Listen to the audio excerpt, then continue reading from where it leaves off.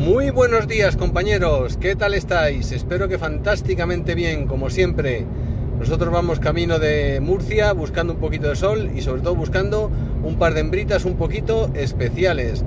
Mucha calidad para el aviario para la temporada que viene. Seguimos adelante. Aún nos quedan 300 kilómetros, acabamos de entrar en la provincia de Cuenca, el camino es largo pero seguro que merece muchísimo la pena. Vamos a meter calidad mediterránea al aviario. Vosotros me acabo de enterar de que el objetivo del viaje es ir a comprar las pajaritas. ¿No te estás pasando? Bueno compañeros, pues seguimos adelante, ya queda muy poquito, muy poquito. Y mientras nosotros vamos a buscar sangre nueva, las dos últimas parejas que tenían cesión están en barajas emprendiendo un viaje que les llevará fuera de nuestras fronteras, abriendo mundo el aviario Ultrella. Bueno, cambio de conductor y en el siguiente clic ya estamos cerquita de las pajaritas.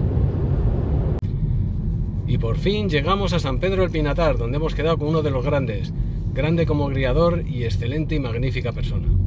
Ahora le conoceréis.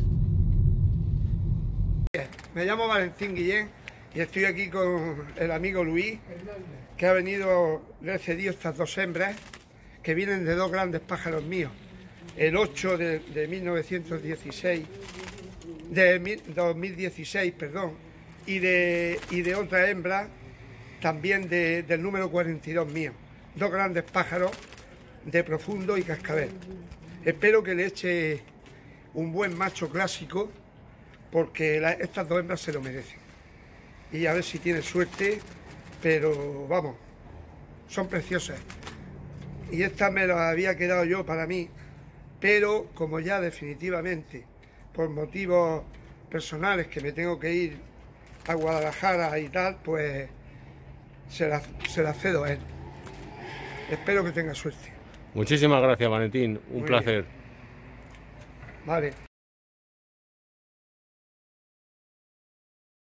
Valentín, me gustaría que los que están comenzando, los suscriptores, supieran tus tres mejores consejos para la temporada de cría. Bueno, yo te voy a decir cómo yo preparo los pájaros para la temporada de cría. Cada uno, cada maestrillo tendrá su librillo. Yo primero he puesto fuerte el macho. El macho. ¿Cómo? Pues lo primero que hago antes de empezar a criar es llevar el pájaro al veterinario. Le llevo seis o siete pájaros del criadero, me analiza la heces y me dice dale esto y dale lo el tratamiento que él quiera. En ese momento. Y luego el macho le doy una vitamina que me mandó, que se llama vitamina TT, que es muy buena, se la doy durante 7, 8, 9 o 10 días, paro y luego otra vez. Y que se ponga fuerte, para que se encele. Y una vez que eso, también se lo doy a las hembras. Y una vez ya que estén encelados, los dejo que se vean, separar por una rejilla y a pisar. Es, lo único que yo he hecho siempre, yo no he hecho otra cosa. Le he puesto también mucho brócoli a todos. Le he puesto collejones, que ahora en la temporada aquí en el campo que se crían los collejones, y esos los ponen muy fuertes. Le he puesto también ortigas. He ido al campo, he cogido ortigas, las he lavado, con un guante le he pasado las manos, le he quitado y se lo he puesto, y eso es fabuloso para ellos. Y luego para el timbrado, lo importante, para, para echar un buen timbrado, para mí es siempre que tenga buena voz, un pájaro que tenga buena voz y buenos timbres.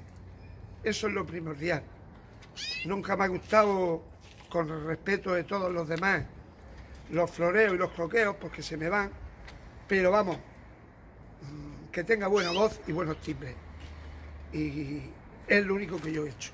No he hecho otra cosa. Luego ya ha salido como todo en la botica, hay de todo mejores, peores y buenos y buenísimos. Pero en fin, y esto es lo que hay. Y dos grandes hembras que te lleva Luis. Dos grandes hembras. Pues dos grandes hembras. Pues muchísimas gracias, maestro. Muy bien. Un lujo de criador y una excelente persona. Muchas gracias, Valentín. Venga, un abrazo. Otro para ti.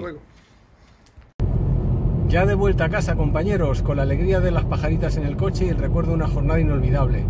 Los pájaros, los concursos, todo pasa, pero las alegrías que compartimos con los compañeros, eso permanece para siempre. Recordad, sed muy felices y buen camino a todos.